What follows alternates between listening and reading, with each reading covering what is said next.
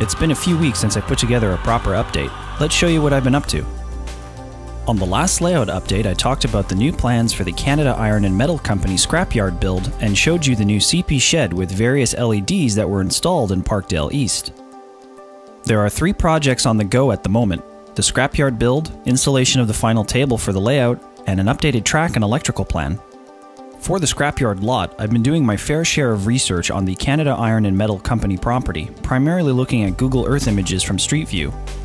The fence enclosing the property was the first item to build. You can see from the images that the fence sits on top of a brick retaining wall. I used balsa wood strips as a base and glued flexible vinyl brick casting onto the wood strips to create a similar look. For the fence itself, I used a Walthers fence kit and drilled the appropriate size holes and inserted the posts.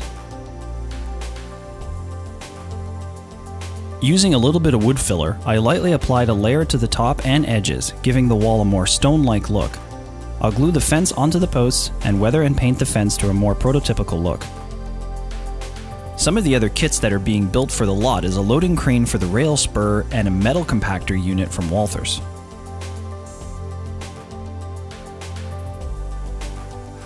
The last table for the new expansion plan is complete, the new table brings the extension out 12 feet and will have the city scene and main passenger station at the front of the table. Built to existing specs, this final table measures 4 feet by 4 feet. Constructed with 2x4s and 2x3s for framing. Each table will be bolted together and secured in place. With this last table complete, that pretty much wraps up all the bench work for the layout. With the new table installed, I went ahead and modified the existing track plans on AnyRail. Here's the updated version. The main passenger station and shed will be located at the front of the table. The placement of the rails is relatively simple. Track 1 is for departures, and Track 2 is for arrivals. Unfortunately, space is limited, so the amount of coaches that can be held in the station will vary, roughly between 4 to 5 coaches per track at a time.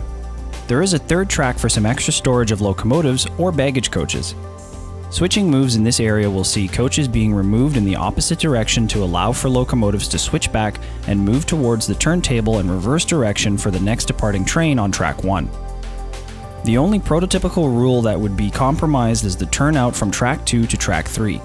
Coaches would overhang the turnout when arriving on track 2. You wouldn't see coaches holding over a turnout for safety reasons. However, as mentioned, space is limited and it's a small compromise to make the station space more enjoyable. In terms of wiring and electrical, a new system diagram is complete and under constant revision.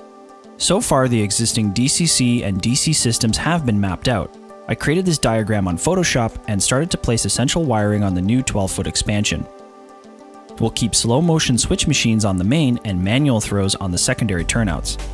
The rail feeders will be connected to the main bus lines as well as the UR90 control panel from Digitrax.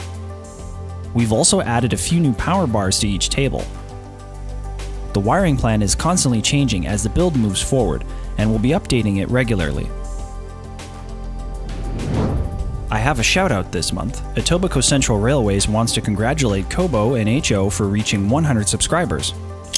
Building a prototypical layout of Cobourg, Ontario, and focused on Canadian national operations, Derek of COBO and HO will take you through his meticulous layout build and layout plans.